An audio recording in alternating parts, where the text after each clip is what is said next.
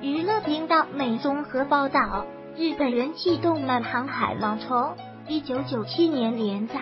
至今已经二十一年，在全球更是拥有不少死忠粉丝。而《航海王》在近期最新一话中，主角鲁夫的悬赏金中遇到达幺五亿，让航海迷们欣喜若狂。连华晨宇也在微博上发文表示要庆祝。《航海王》故事内容中，主角鲁夫为了寻找 O N D P E C 和成为海贼王，便出海成为海贼，并在过程中寻找志同道合的伙伴。剧情除了冒险热血、情感纠葛，也反映许多现实黑暗面，更加入不少奇幻元素。才得以风靡全球二十亿年，至今热度不减。而最新一话中，杜夫在《航海王》海贼地位指标的悬赏金中，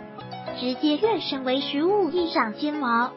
除了让全球粉丝惊喜，也让艺人华晨宇都忍不住在微博上 PO 出这个消息，直呼杜夫十五亿了，一次涨了十亿，OMG，要庆祝一下。